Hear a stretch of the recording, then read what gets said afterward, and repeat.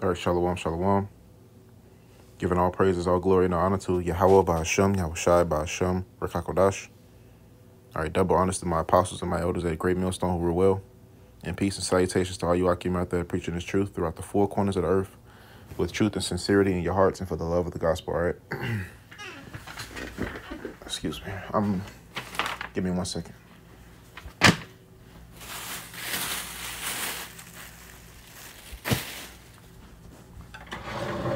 I'm the brother Shamaria, uh, coming to you with another lesson. Coming out, uh, I am from the Great Millstone Branch, Gary, Indiana. And this, uh, today's lesson is going to be about um, Revelations. Well, it's not going to be about Revelations, but it's going to be about uh, watchmen. You know, the watchmen. You know, the Lord has set up the prophets. You know, for to be watchmen you know, watchmen of prophecy, you know, and then to, to declare it unto the people. All right, it says that in various various scriptures that I'm going to get. Um, first one, I, I mean, the first scripture that was on my mind was uh, I only had really had two scriptures on my mind, and then from there I'm gonna go into the spirit, whatever the spirit gets. Spirit gets. Um, I'm just starting as Revelations. It's Revelations uh three and three. But I'll start at one. It says Revelations three and one.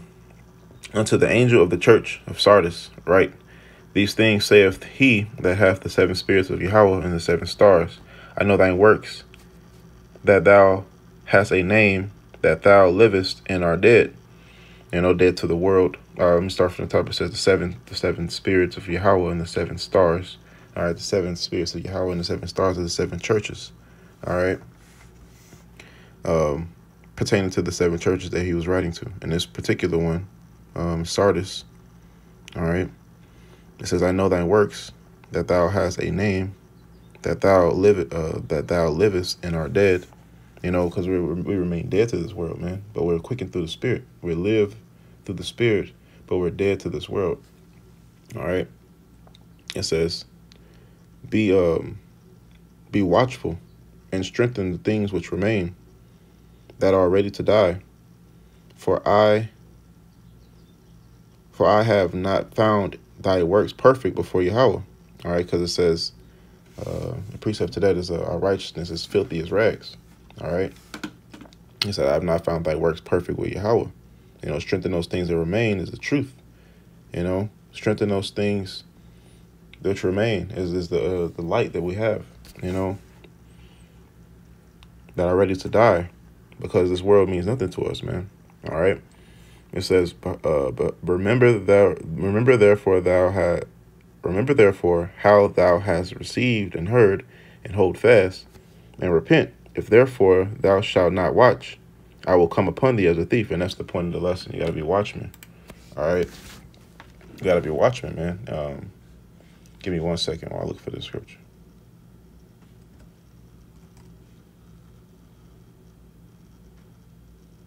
Oh, my fucking computer. Rags.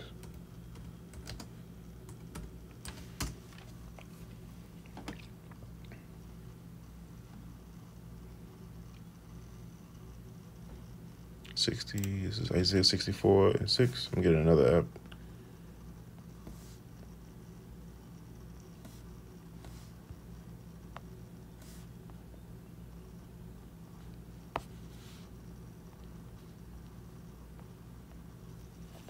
Isaiah 64 and 6, but we are all as unclean thing, and all our righteousness is, are as filthy rags, and we all do fade as a leaf, and our iniquities, like the wind, have taken us away. So basically, our righteousness is filthy as rags, so our work is never done. You know, your, your work is only done when you when you die in this truth. All right, that's when your work is done. So, as long as you have breath in your lungs and strength in your body, you're supposed to prophesy, man. You're supposed to be give a warning to the people. You know, supposed to prophesy uh, the prophecies, tell the people the news. You know, the good news and the bad news. All right, together. So it says, Remember therefore that thou hast received and heard and hold fast. Receive the truth. All right, and hold fast means to to, to don't let go. Hold fast means to uh, brace yourself. You know, brace the embrace the truth. You know, hold fast. When you uh, think about holding fast, when I think about holding fast, I think of a, a quarter, uh, not a quarterback, but a NFL player. You know, when he holds fast, he holds that ball for dear life and try not. He tries his best not to let it go, even if he do get hit. You know, it says, and repent. You know, repenting is also a good part of a big part of this faith, man, because we we we all know our righteousness is filthy as rags. I just put it, Isaiah 64 and, and, and 4, uh, Isaiah 64 and 6. All right, so we have to repent and ask the Lord for forgiveness every day, you know, so that we may be cleansed of our sins. If therefore thou hast not watched, I will come upon thee as a thief, and thou shalt not know what hour I will come upon thee. Why? Because when the, the thief comes, the thief comes when you least expect it. No thief is going to come when you're expecting him. He's not going to give you a notice of when he's going to break into your house because you're going to watch. You're going to be watching for him. If he if you knew when he was coming, and that thief, all right, is Yahweh Shai when he visits the earth. But you know, the, uh, even he, even he doesn't even know when he's going to come back, man, because he said, um, all those things that I revealed unto you. You know, I, I, I find you no more servants but friends. For all that the Lord has revealed unto me, I revealed unto you. Uh, no, it's another one says, No man knoweth the hour. Matthew 24 and 26.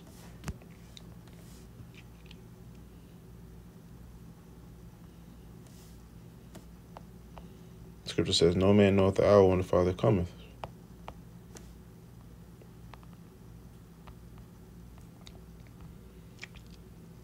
Matthew 24 and 36 it's uh, 35. It says, Heaven and earth shall pass away, but my words shall not pass away. But of of that day and the hour, if no man know, not the angels of heaven, but my Father only. You know, so no man knoweth when the Lord's coming back, man. Only the Father. The scripture says, uh, I find thee no more servants, having no more but friends.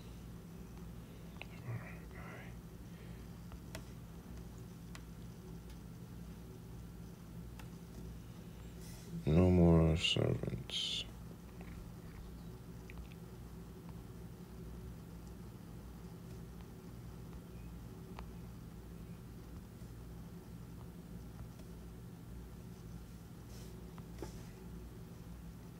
Let me see. No servants, friends.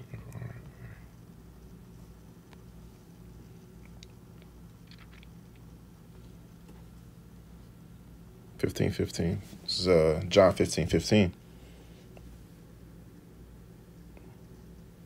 It says, Henceforth I call you not servants, for the servant knoweth not what his Lord doeth, but I call you friends.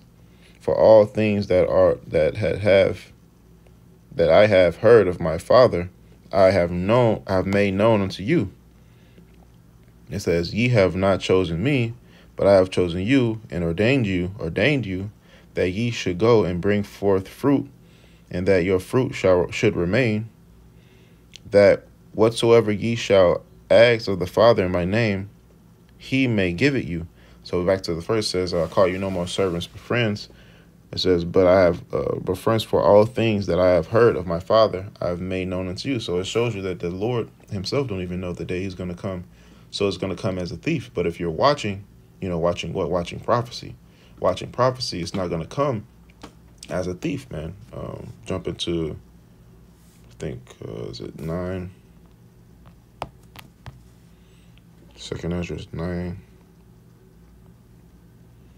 The scripture uh, Second Esdras nine and one. He answered me then and said, Measure thou the time diligently in itself, and when thou seest part of the signs pass, which I have told thee before, all right, it says measure the time diligently. Well, how do you how do you measure time? You know a season you in because the prophecies that come to pass, and we all know that the uh, the prophecy. Let's going to go into it. Prophecies come to pass unless you know how close you are to the end. All right, so we know that we're at the end because we're seeing certain things that the Lord had already said to look for before he, but you know, before time. And we measure the time diligently in itself because you measure prophecy you measure time when the Lord is coming back with prophecy. Verse 2. Then shalt thou understand that it is this very same time where the highest will begin to visit the world which he made. All right. So then you'll understand that it is the time that the Lord is going to begin the highest, which is who the most high, the Father, you know, through his son, he's going to visit the world which he made. Verse 3 Therefore, when thou shalt be seen earthquakes and uproars of the people in the world, see, now that's a prophecy. Therefore, when there shall be seen, so if you look at the world news right now, you see uproars of the people. You see uh, economies are collapsing. You see people are being um, up uprising against their governments. All right. You saw it in America. You saw it in America on a very small scale, but you still saw it. You know, you see it in Haiti. You saw it in Ecuador. You saw it in Venezuela. You know, you see people rising up against their government. You know, uproars of the people. You saw it in um during the during the riots of 2020. You know, in the in the Americas, man. You know, all through the major cities of America, you saw the riots. You know, they would protest. They was they would call themselves protesting, and then uh, it would be so many people. You saw you start seeing people crashing into windows. Uh, well, windows being crashed in, people looting stores. All right, that's uprising of that's the uproars of the people. All right, it says in earthquakes in diverse places. You see that all the time, man. Everywhere. Diverse means everywhere. You know, up uh, earthquakes are happening everywhere. Verse 4 Then shalt thou well understand, see, well understand that the Most High spake of those things from the days that were before thee, even from the beginning. See, the Lord already told us these things were going to happen. All right. For like as is all is made in the world hath a beginning and an end, the end is manifest. So now we can see how close we are to the end. All right. We can see these things. We can see the uh, rumors of uh, rumors of war. It says, even so, the times of the highest have plain beginnings and wonders and, and powerful, powerful works and endings and effects and signs, and every one that shall be saved. Oh, this is uh, let's go into a couple of a couple of those prophecies, man. I believe it's in the twenty fourth chapter of Matthew's, if I'm not mistaken. Yep, I'm gonna start at um. Just get to the point. I'm gonna start at verse four. And Yahweh answered them. I'll start at three. And as he sat upon the Mount of Olives, and the disciples came unto him privately, saying, Tell us, when shall these things be? That shall be the sign thy, of thine coming and the end of the world. See, the end of this world. See, they, they, they were looking for signs. Like, how we know you're going to come back? What, what, what do we watch for? Verse 4 And Yahweh answered and said unto them, Take heed that no man deceive you, for many shall come in my name, saying, I am Christ I am Mashiach, and shall deceive many, you know, false prophets. It says, and ye shall hear of hear of wars and rumors of war. See, the whole world is at war right now, man. You know, just watch the world news. You'll see that a lot of countries are at war with each other right now. At first, it started off as rumors and warnings and threats and sanctions, but now it's full blown war. All right. It says, wars and rumors of war, see that ye be not troubled, for all things all these things must come to pass, but at the end it is not yet. See, it's not yet, so we have more to go. For a nation shall rise against nation, and kingdom against kingdom. There shall be famines, pestilences, and earthquakes in diverse places. So famines, we already uh, witnessing a, a, a, nationwide food shortage here in America and all over the world. A nation is a, it's a worldwide food shortage, man. Whether it be man-made or not, it's all prophecy. You know, no matter who caused it, the Lord is the one who caused it. You know, and people are like, oh, uh, it was it was purposely planned, or it's a it's a plan of the government. Who cares who who planned it, man? It's prophecy. The Lord said it's going to happen. It happened. You know. And pestilences. All right, in 2020, there was an outbreak of, um, you know, during the pandemic, the pandemic. But who cares who planned it, man? It was the Lord at the end of the day who made it happen. All right, so we see these things happening, and it's our job to come out here and watch for these people. I mean, I'm sorry, and watch for these prophecies and tell the people what's to come. All right. Um, going back to the Revelations. Oh.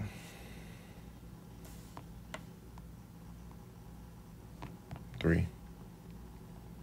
Uh, Revelation three and three. Remember therefore how how thou hast received and heard, and hold fast and repent. If there if therefore thou shalt not watch. I will come upon thee as a thief. So if you're not watching for these prophecies, the Lord's going to overtake you. If you out partying and being distracted, you know, you're not watching, you're not up, up to date with what's going on in the world, and then you can link it with the scriptures or listen to the prophets so they can link it to the scriptures for you. All right, the Lord is going to come upon you as a thief, and thou shalt not know what hour I will come upon thee. All right, so with that, let me go to Thessalonians. It's a couple of them I want to get actually. Yeah. Give me one moment.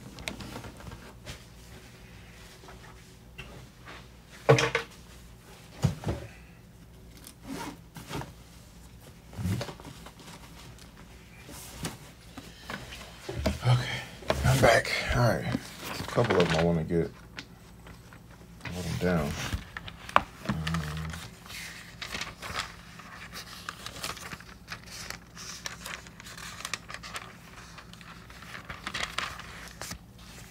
Thessalonians is definitely the first one.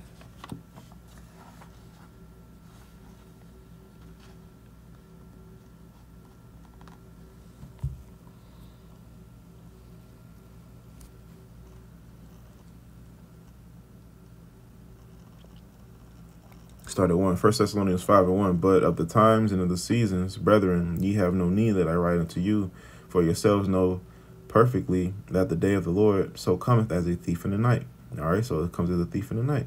For when they shall say peace and safety, see, that's what the people saying, man. You have a large influx of people on social media that's getting a lot of money, and that's because them that's causing them to become blind. They're not going to hear the words of the Lord.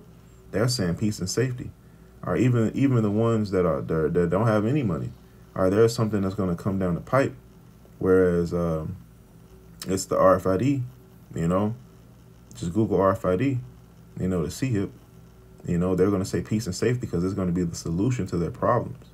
All right, that after they say peace and safety, then it says then then sudden destruction cometh upon them as travail upon a woman with child, and they shall not escape it's a sudden destruction, man. That's when they're going to be destroyed because they trusted in, and they trusted not in the Lord. They trusted in everything else but the Lord. Then they're going to be in uh, in terrible case.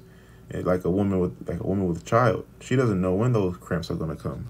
You know, those uh, contractions are going to come. All she know is, you know, she, she don't she don't know. She has got to go through it, and they should not escape.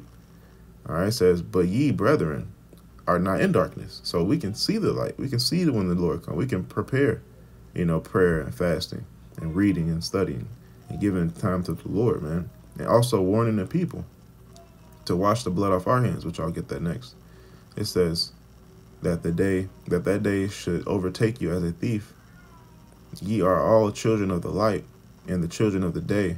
We are not of the, the night nor the darkness. All right, so we are not the light nor the darkness, man. You know, we, we see for the rest of the people who do not see. Okay. Um, 2 Peter 3 and 10.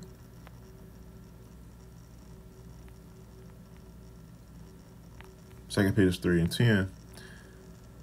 Uh, verse 9. I'll start at 9. Second Peter 3 and 9. The Lord is not slack concerning his promise, as some men count slackness, but is long suffering to usward, not willing that any should perish, but that all should come into repentance.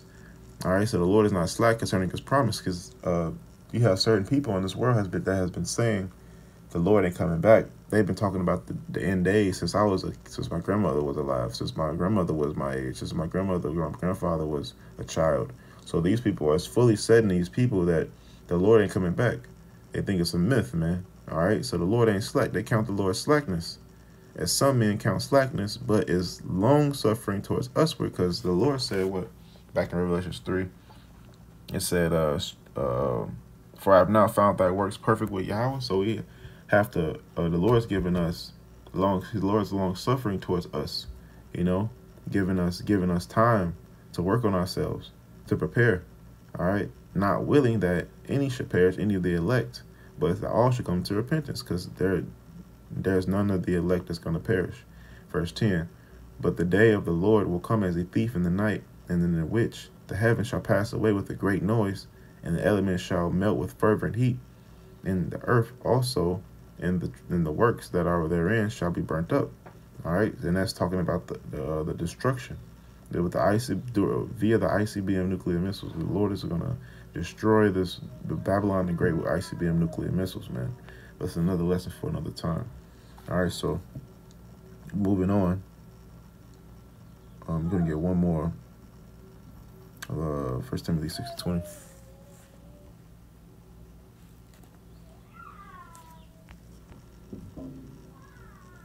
No, it's not 6 20. Um, 13.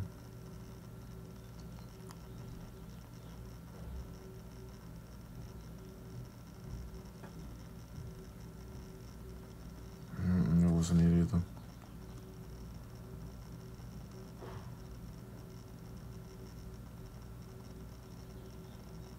Nineteen.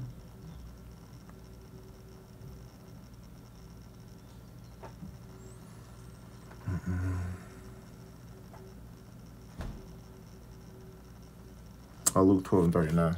That's a good one. Bear with me for a moment.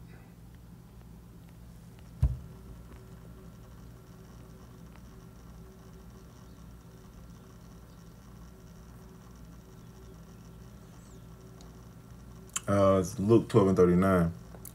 And this know that if the good man of the house had known what hour the thief would come, he would have watched and not have suffered his house to be broke into. But ye therefore ready, uh, and, but ye therefore ready also, for the Son of Man cometh in an hour when ye think not. See, now this is the point. That's that's what I meant to get. Um, because the Lord is coming like a thief in the night. He, if he had known the Lord had came, this is the whole point of watching. One of the aspects of watching, so we can know and warn the people. But um, that's my time, and I have to. Uh, I'll, I'll make a part two of this given the importance of why we have to warn the people, why we have to go out there on the highways and byways and warn the rest of it. We have to warn the whole world, man. Scripture said that the, uh, this word should be preached about the four corners of the earth. All right, until the uh, then the end shall come. But until uh, I got the point. The point is the Lord is coming like a thief in the night, and if you don't watch, He's going to take you, you know, in, in destruction. But if you watch, you know, you are children of the, children of the light, and He suffered none to be destroyed. All right, until next time, Lord, Lord willing, this lesson was edifying through the spirit and the power of Yahweh, by Hashem, Yahweh Shai, by Hashem, Rakakodash.